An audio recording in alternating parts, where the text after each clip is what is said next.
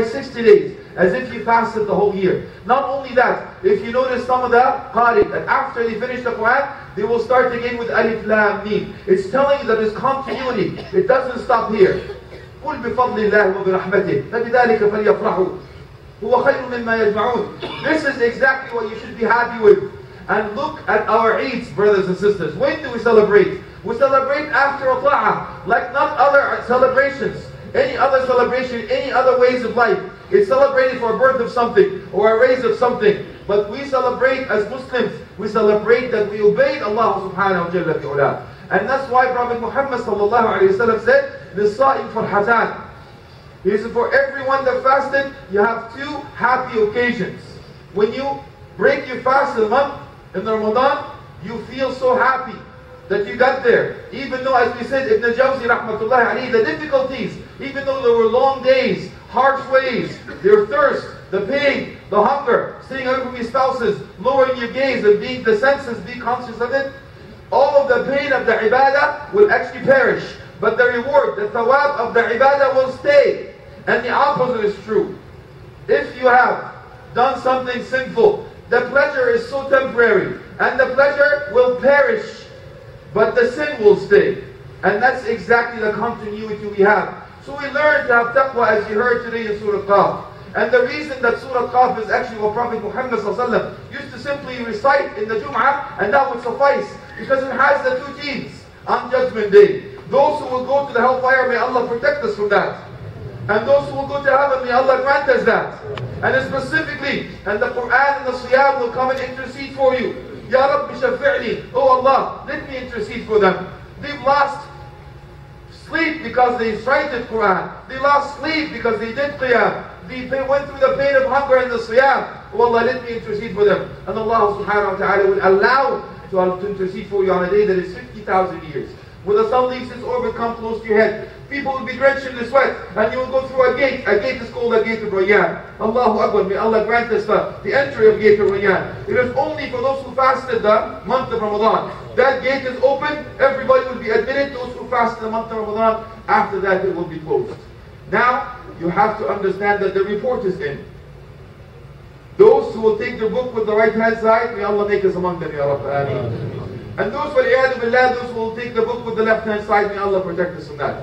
And the worst yet, those who take the books with behind their back, that's the hypocrites. You show something that's the exact opposite. May Allah protect us from that also.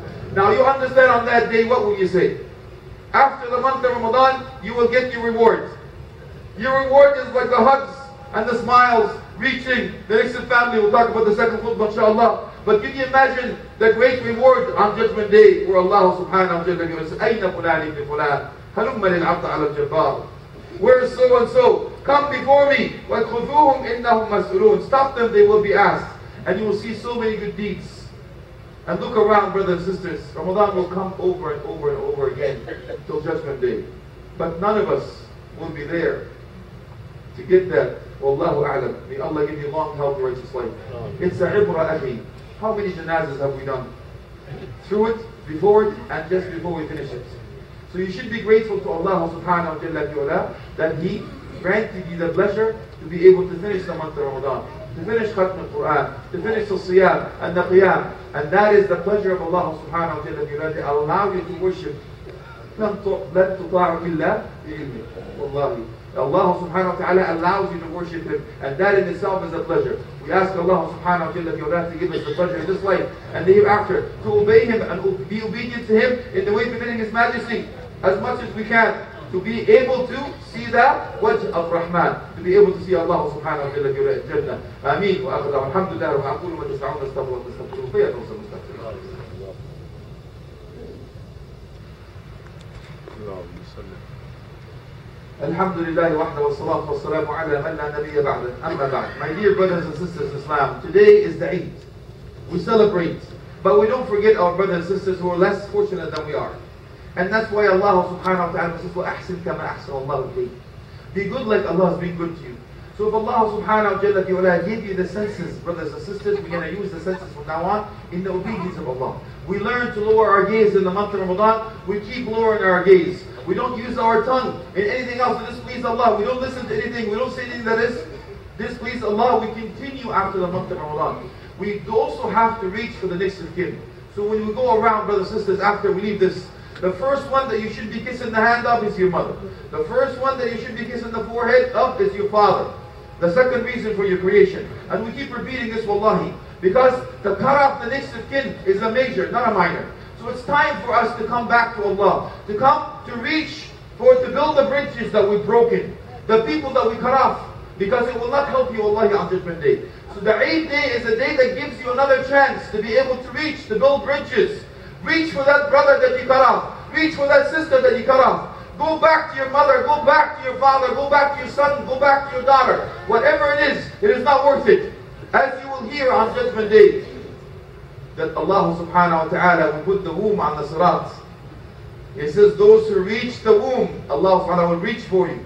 And those who cut off the womb, Allah subhanahu wa ta'ala will cut you off.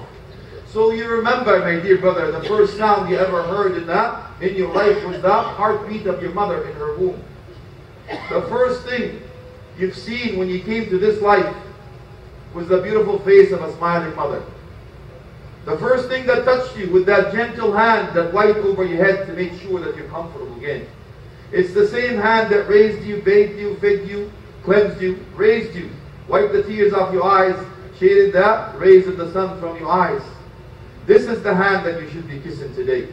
This is the hand that you should be with today. This is the face that you should be smiling for. Because this is the only woman that would give life to you, and even though she would die.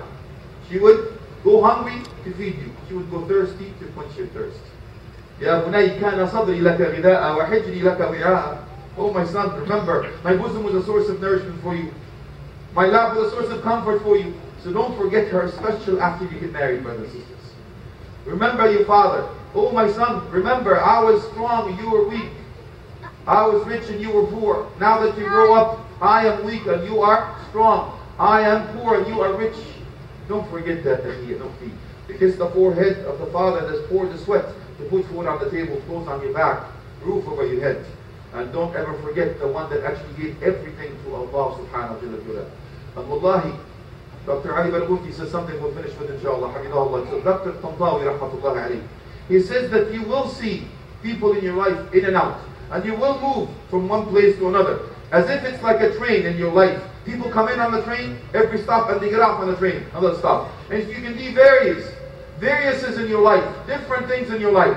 But the only common denominator is Allah subhanahu wa ta'ala. He will be with you right through. He's the one that's going to hold you accountable. He's the one that allows you to have a grave of heaven, not a hellfire. He's the one that's going to grant you the book with your right or your left. He's the one that has the keys for heaven and hell. So he says, reconcile your relationship with Allah. And this raised the banner.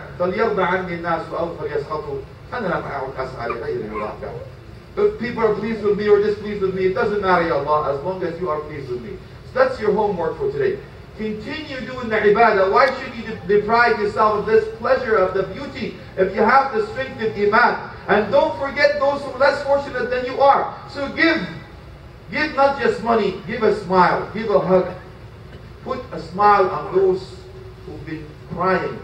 The brothers and sisters overseas. May Allah alleviate the hardship of the ummah. May Allah subhanahu wa ta'ala reconcile our hearts, mend our hearts, reconcile our differences, unite our goals, and make us as gathered as here in this dunya, to gather us with Prophet Muhammad sallam, with no accountability to be able to see the magnificent face of Allah, with no accountability in the way befitting His Majesty. Oh Allah, accept our good deeds, accept our siyam, and qiyam, and salah, and sujood, and ruku'. Oh Allah, accept our sadaqah, accept our zakat, accept our dua, accept our buka. Oh Allah, keep us on the straight path of the Quran and Sunnah to meet you when you're pleased with us, and grant us the entry الريان آمين. وآخر دعوانا. الحمد لله رب العالمين. وصلى الله على آله وصحبه والتابعين. يا ربنا لك الحمد لك رب الجلال وتب عليه سلطان اللهم صل على سيدنا محمد في الأولين وفي الآخرين وفي الآخرين اللهم انصر الإسلام وعز المسلمين. واعني بفضلك كلمتي الحق والدين وأذل الشرك والمشركين. أعداءك أعداء الدين. أوقع الكافرين في الكافرين وأوقع الظالمين في الظالمين وأخرجنا من بينهم سالمين. اللهم احفظنا بالإسلام قائمين واحفظنا بالإسلام قاعدين واحفظنا بالإسلام راقدين ولا تشمت بنا الأعداء ولا الحاسدين. اللهم احفظنا من بين أيدينا ومن خلفنا وعن أيماننا وعن شمائلنا ومن فوقنا. ونعوذ بعد ذلك أن نغتال من تحتنا. اللهم اشف مرضانا ومرضى المسلمين وعاف مبتلانا ومبتلى المسلمين وارحم موتانا وموتى المسلمين اللهم اشف صدور قوم المؤمنين ولا تشمت بنا الاعداء والحاسدين وآخر دعوانا الحمد لله رب العالمين وصلى الله على آله وصحبه والتابعين Congratulations to Eid Mubarak. Allah accept all your ta'at. Don't forget your